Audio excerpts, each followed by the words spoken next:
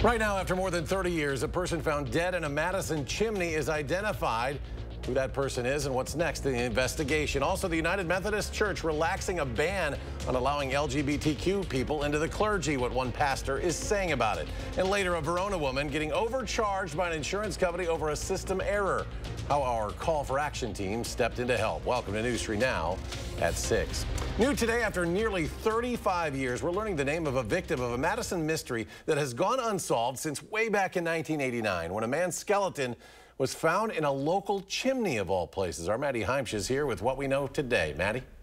Eric, this is a case we've been covering right here on News 3 Now for decades. Take a look at how it all unfolded today. Still, after all these years, the case detective waits for the call.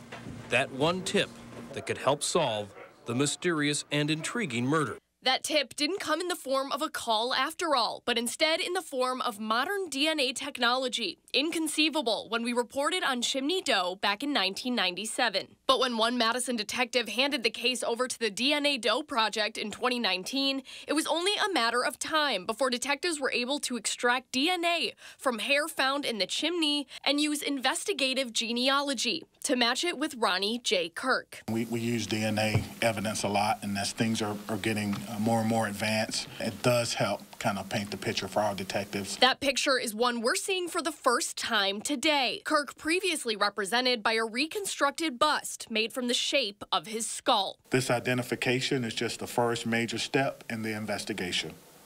Now we start the process of trying to figure out who Ronnie was and how he ended up in Madison. Kirk's skeleton was found in that chimney by the owner of Good and Loud Music Store, alongside a paisley dress, a shag sweater, an iron cross necklace, and pointed shoes.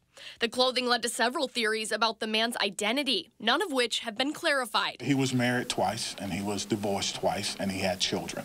So how he identified, um, I do not know. We also know that Kirk was born in 1942 in Tulsa, Oklahoma, where he was adopted and raised by family. Investigators still don't know why Kirk was in Madison, why he would have been killed, or even who the perpetrator was. The Madison Police Department is asking anyone who has information about Ronnie J. Kirk to reach out with tips. We have that contact information up right now on channel3000.com. Maddie, thank you. A Madison man is in jail after an incident on Library Mall over the weekend. UW police were called to that area on Saturday just after 7 for a report of a battery a victim told investigators a man physically assaulted a speaker during a peaceful demonstration. The suspect reportedly was yelling at the group before punching one person in the back of the head, then struck another in the face. Both victims declined medical treatment. The suspect faces tentative charges of battery and disorderly conduct. That individual is not affiliated with UW-Madison. Moving to weather now, where once again wildfires in Canada are having an impact on our air quality here. Right now, Dane County is under an air quality alert until midnight. Monica Turner, a professor of biology and ecology at UW-Madison, says the fires impacting Wisconsin to this extent is a relatively new phenomena. The newfound intensity of them is the reason for it impacting places beyond our northern border. Well, those geomagnetic storms Friday and Saturday that brought those dazzling colors to the night sky did cause some issues. The New York Times is reporting navigational systems in farming equipment broke down over the weekend. That equipment, including tractors, used GPS to plant precise rows to avoid gaps and overlap. Landmark Implement, a John Deere dealer in the Midwest, warned farmers about the potential disruptions. It's bad timing as it's the height of planting season in the Midwest and also in Canada. Rainy start to the week. Let's check your first warn forecast. Chief Meteorologist Alex Harrington is out on the weather patio. Alex? Hey, good evening there, Eric and everybody. It is actually pretty nice out here in the patio in the WISC TV studios. The sun's trying to make its appearance out here as well, so that's a plus. Temperatures are pretty nice out here as well. But first, the air quality advisor that Eric was mentioned before, Madison, and points off towards the north and west until 12 o'clock. And again, that's for that wildfire smoke that's making its way southeast all the way from Canada all the way down to southern Wisconsin. And as I look at my wildfire smoke model, I wouldn't be surprised to see this pop back up again periodically over the next couple of days. Radar 3000, nothing on Radar 3000 here in Dane County. It's high and dry, though there are some showers and thunderstorms down towards Walworth, down towards the Wisconsin-Illinois border, and that's where the shower and thunderstorm activity will be concentrated south and east of Janesville and Beloit for the rest of the night. Future track model showing here as we move on beyond the 6 o'clock uh, time frame just an isolated shower storm chance north and west of Beloit and Janesville. One tries to pop up in Iowa County. If that even occurs, most of the area will be dry tonight with temperatures slowly working their way down into the 40s. Where we, where we didn't have any rain and we had some sunshine, 74 in Camp Douglas right now, Madison at 67 degrees, 68 to the south of Monroe. So you could see where the showers and clouds were and where you see the oranges, that's where they had a little bit more in the way of sunshine. Coming up in main weather, though, we're going to track temperatures eclipsing the 80 degree mark again. When you can expect that, I have the answer in a couple of moments. All right, Alex, thank you. Earlier this month, a long-standing ban on allowing LGBTQ clergy into the United Methodist Church was overturned. Now, in the week since, our Kyle Pozorski dug into that decision, speaking with a Madison pastor about the change. This month's decision was a big one by the United Methodist Church and came with great praise by members of Bethany here on Mineral Point Road. During the general conference, the vote came down 692 to 51, a resounding 93% in favor of removing the long-standing ban. Pastor oh, Julie Wilson telling me Monday a feeling of uncertainty surrounded her members in anticipation for this vote. I think we had a lot of members who were waiting and said, you know, if this didn't pass, I don't know if they would have come back. Um, and I've had people like in the community reach out to me and, um, you know, just th thrilled that, that we did this. Many believe the vote was so lopsided due to the departure of many conservative congregations in recent years. Wilson saying the General Conference was one of working together to move forward on a new path accepting all. In Madison, Kyle Pozorski, News 3 Now. Kyle, thank you. Pastor Wilson went on to tell him she's always felt everyone is invited into the church and that Bethany continues to be a place for LGBTQ members to freely worship. Well, at the state capitol today, the Wisconsin Supreme Court is considering whether or not to overturn a controversial law that bans ballot drop boxes in Wisconsin. That decision handed down from the court, that was back in July of 2022. At that time, of course, the court had a conservative majority. Now the liberal majority court is asking if they simply made the wrong choice back then. What if we just got it wrong? What if we made a mistake? Are we now supposed to just perpetuate that mistake into the future? Attorneys on the Republican-backed side of the court argue a repeal of the original rule will set a precedent of the court flip-flopping on positions every time a majority of the court changes, but Democrats believe the court was wrong and should overturn the previous ruling. Meanwhile, Vice President Kamala Harris returning to Wisconsin this week. She'll be visiting Milwaukee. That's a campaign stop there, part of her economic opportunity tour. This marks her fourth visit this year already, her eighth visit since she took office. Last month, she visited La Crosse. In March, she was here in Madison. And in January, she kicked off the Fight for Reproductive Freedoms tour with a speech in Waukesha County. Happening today, East Doty and West Wilson Streets are closed. MG&E is out doing work in preparation of the Doty and Wilson Street reconstruction project. Doty will be limited to one travel lane until August 16th. Drivers will be limited to one eastbound lane from MLK Jr. Boulevard to King Street until then. Well, the Federal Energy Regulatory Commission is voting in favor of a new rule that's expected to bring significant reforms to the nation's electrical grid. This new rule aims to make it easier to build regional electrical transmission high voltage electrical towers to deliver more electricity and clean energy to the grid. The chair of the three-member group says that without this sort of action, the nation would not be able to handle increased demand and also extreme weather. Coming up on News 3 Now at 6, it is Mental Health Awareness Month. We'll tell you about a local film festival, festival looking to spread the word. Plus, cancer can take a toll on the body, including some areas that most people don't like to talk about. How a program at UW Health is reaching out to support those impacted.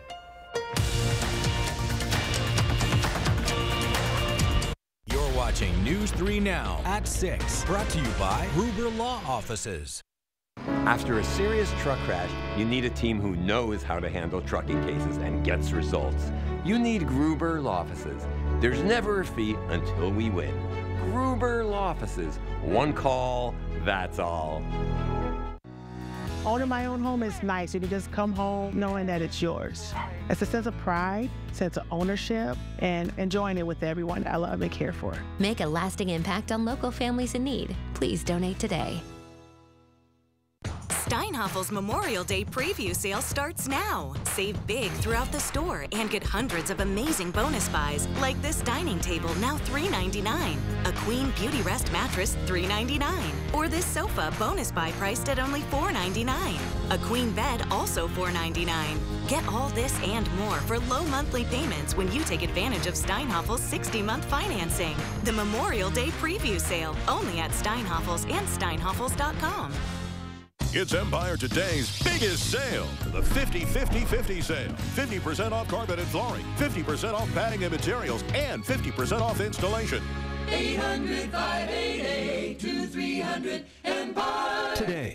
Get an 11% rebate on new roofing and gutters at Menards. Owens Corning shingles have a limited lifetime warranty and a 130 miles per hour wind warranty. Get an 11% rebate on all Owens Corning shingles. Complete your roofing project with new aluminum gutters. They're essential for protecting your foundation and help keep your basement dry. Available in three stock colors for only $10.99 each after 11% rebate. Save big money at Menards. Been scammed? Landlord not responding? Have billing disputes? Take action. Thursday from 4 to 6:30 p.m. Call 608-270-2833 and News 3 Now's Call for Action investigators will help you get results. You're watching News 3 Now at 6. May is Mental Health Awareness Month, and a film festival in Madison is trying to spread the word the only way it can. The Mental Health Warrior Film Festival is happening this weekend at Flicks Brew House on the east side. The festival celebrates mental health warriors who are defined as creatives who have been touched by mental illness, and the man behind it all is one such warrior. I've struggled with severe anxiety and depression most of my life, and uh, creativity. Uh, I've also been a, a writer most of my life, and I believe that one of the powers, one of the strengths, one of the tools of battling mental illness is creativity. The festival is this Saturday. All proceeds are going toward Camp Creatability and the Rogers Behavioral Health Foundation. UW Health wants to raise awareness about a recent message cancer leaders are sharing specifically about women's cancers. It's in honor of National Women's Health Week. Approximately 64% of women's cancers involve reproductive organs. The Women's Integrative Sexual Health or WISH program at UW Health is the only program in Wisconsin providing clinical consultation, resources, education, emotional support, and appropriate referrals related to sexual health concerns for women with cancer. It can be a very difficult topic to talk about. It can be hard for patients to bring this topic up. It can be uncomfortable for providers, you know, to talk about this topic as well. But you know, care teams are there to help. And I think we're we're lucky in our system that we've got a great resource with our Wish Clinic. Um, but whether that exists in your healthcare system or not, you know, providers want to help. And the first step to that is a conversation about the problem. Some common cancer care side effects include early menopause, infertility, and issues related to sexual health, such as pain or negative body image. When we come back, as severe weather continues across the country, how you can financially prepare for the worst. Plus, call for action action, taking action. Hear from one woman on her struggles with an insurance company overcharging her. And how's the weather looking for the rest of the week? Alex returns his complete forecast after a short break.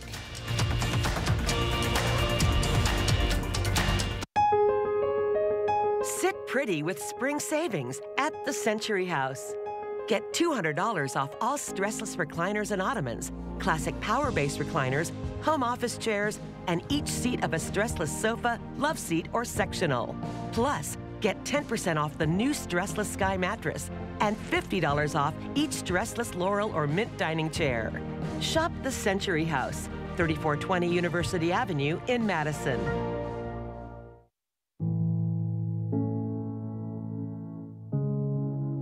Are record energy costs putting a squeeze on your fixed or limited incomes?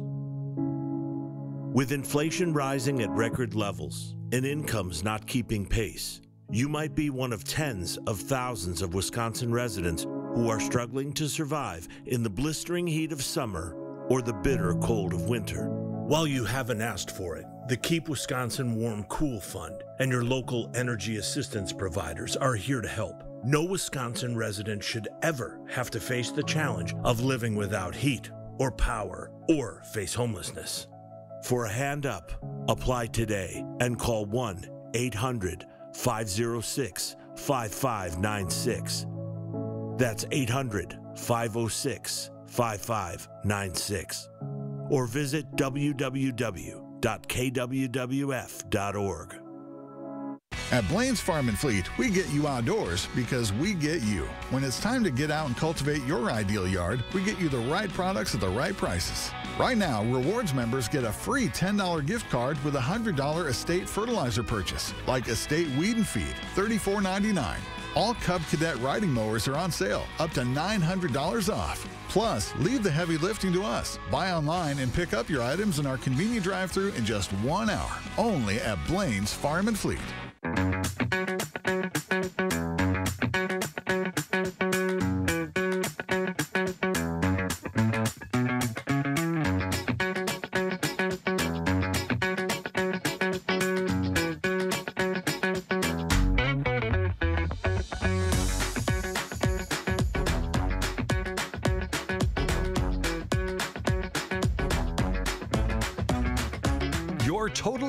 Experience is at the island.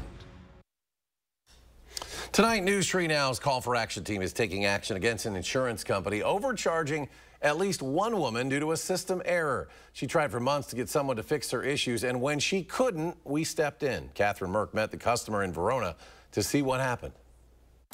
If I can't fix this for myself and for my family, there has to be others that are having the same issue.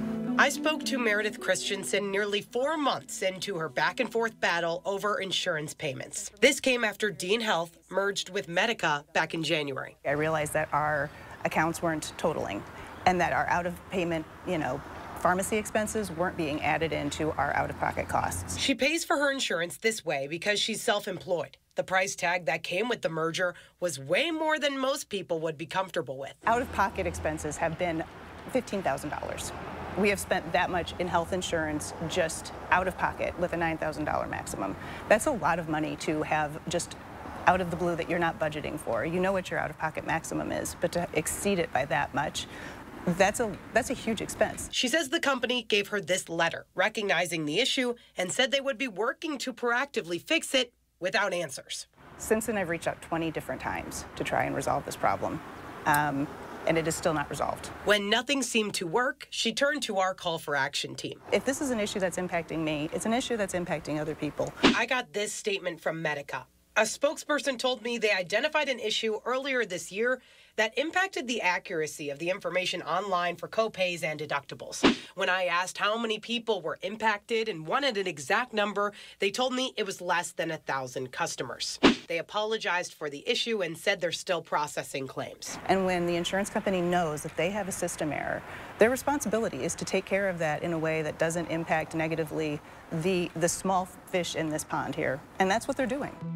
As of this week, Meredith still hasn't gotten this fixed. She hopes by speaking to us about the issue, other customers can put an end to their months long frustrations. The urgency maybe isn't there as significantly as it is for me, um, and it hasn't really gone anywhere.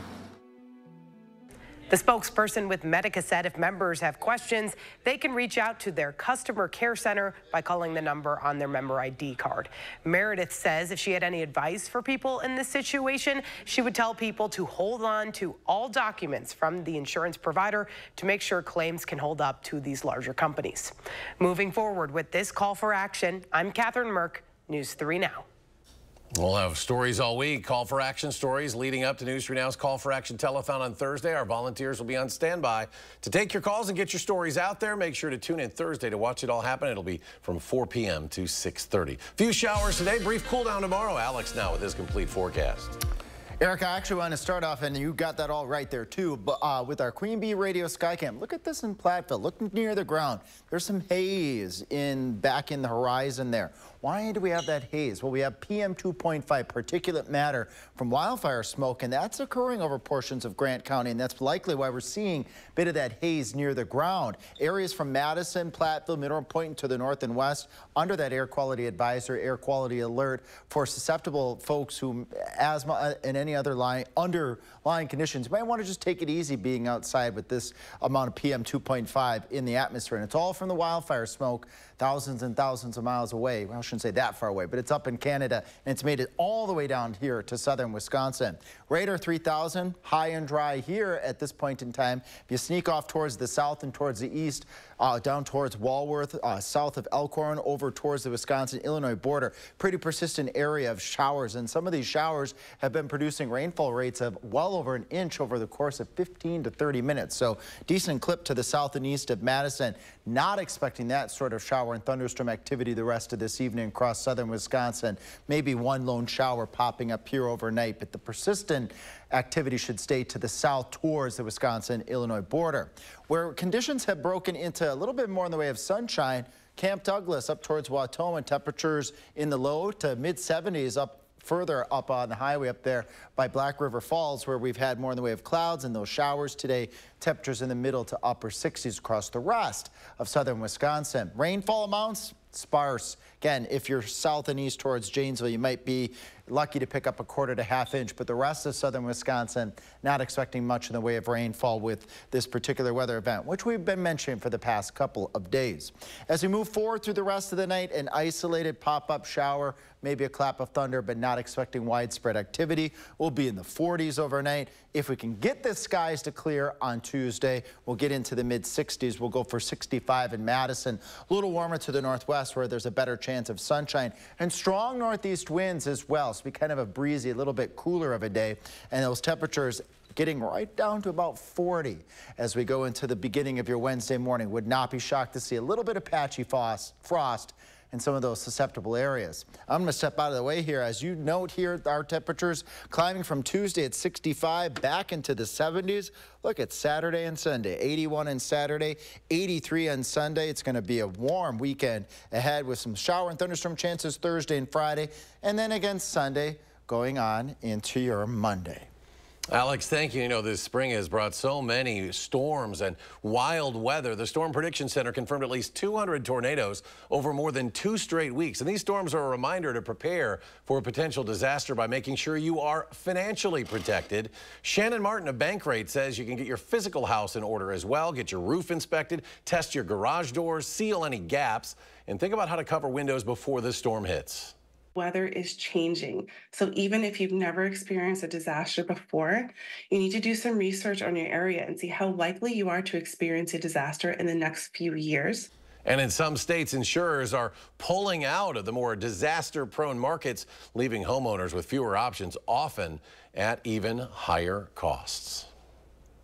And still to come in sports, Steve Stricker's dominance on the senior tour last year got him into this year's PGA Championship. But today he announced he won't be playing in this weekend's major. Why? Next on News 3 Now at 6. News 3 Now First Warn Weather is brought to you by La-Z-Boy Home Furnishings and Decor. Discover a shopping and design experience as comfortable as the furniture. La-Z-Boy Home Furnishings and Decor. Schedule your free design consultation today. My name is Adrian, and I was hurt in a car accident. What Gruber Law Office has done for me was made me feel safe. It didn't cost me anything, just one call, that's all. Injured? Call Gruber Law Offices today. One call, that's all. My son, Nick, took illicit fentanyl, which cost him his life. And knowing that my son is never coming back is the worst thing that I will have to live with for the rest of my life. Tammy Baldwin's been with us every step of the way. She just got a major bill passed to really crack down on fentanyl. She doesn't just talk the talk, but she actually walks the walk. I cannot tell you how much we appreciate Tammy Baldwin fighting this fight. I'm Tammy Baldwin. I approve this message. I was born with a heart defect. For most of my life, it was safe to monitor with regular checkups. When I was ready to start a family, we knew it was time to make my heart strong enough for pregnancy. I was nervous. But my team at UW Health specializes in complex procedures, so they knew how to help my heart keep up with my dreams. They had the expertise I needed when I needed it, and now I'm ready for the next adventure. UW Health, remarkable. Tina, the Tina Turner Musical. See her triumphant story and prepare to be ecstatically blown away. Direct from Broadway. Playing June 11th through 16th at Overture Center. Tickets at overture.org. Why choose between that new deck you've been wanting and that vacation you've been dreaming about? Get both. A deck that outlasts wood 3 to 1 and up to a 7-day vacation on one of the top cruise lines or at one of our hundreds of resorts with no blackout date restrictions. Call now or visit the website for your new deck today.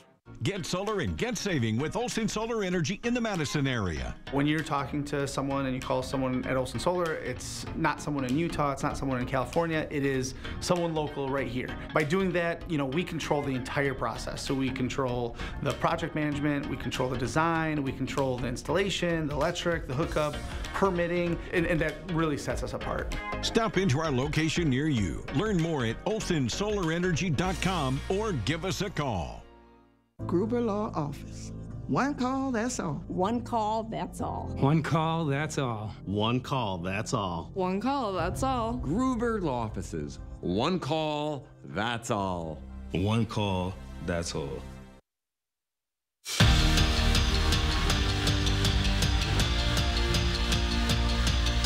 Steve Stricker wrapped up a good weekend of golf, finishing third in his first senior major of the calendar year. The Edgerton native was slated to play in this weekend's PGA Championship, but today he withdrew from the event. Strick is in a busy stretch. He was scheduled to play three majors and the AmFam Championship in a five-week span. Stricker talked last week about how he really wanted to play this full slate, but ultimately he bowed out.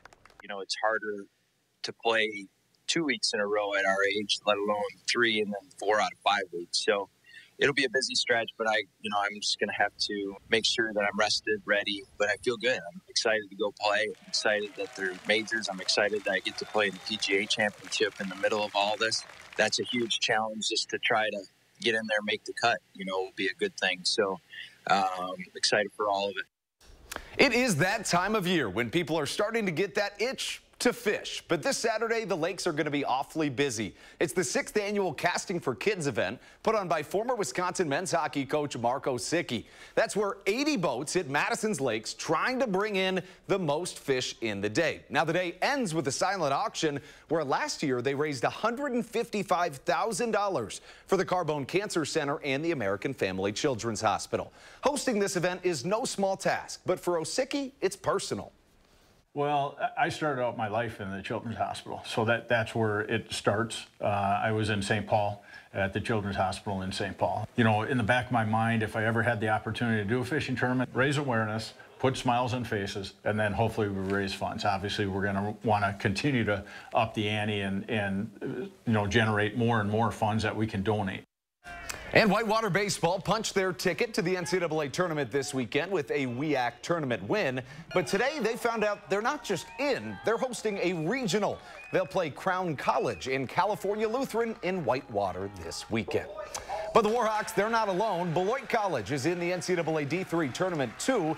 Here's a look at the Buccaneers' reaction to hearing their name called. And honestly, that's why I love sports. You just can't beat that. That's the best time. That's the best. Tournament season upon us. Final check of the forecast with Alex. Yeah, air quality conditions yet this evening. Our Queen Bee Radio Skycam showing a bit of that haze near the ground where we do have air quality advisories at least until midnight for Madison, Platteville, and points off towards the north and towards the west. The other part of our story is any shower and thunderstorm chance that we can still sneak out of this weather system. Few and far between overnight tonight. And we get a mild week ahead and 80 degree temperatures by the time we get to next weekend. You so know get I ready like for that. I know weather. you do. That's I good. know you do. I'll take it. Alex, thank you. Thanks for joining us for News 3 Now at 6. Folks, have a great evening. We'll be back here tonight at 10.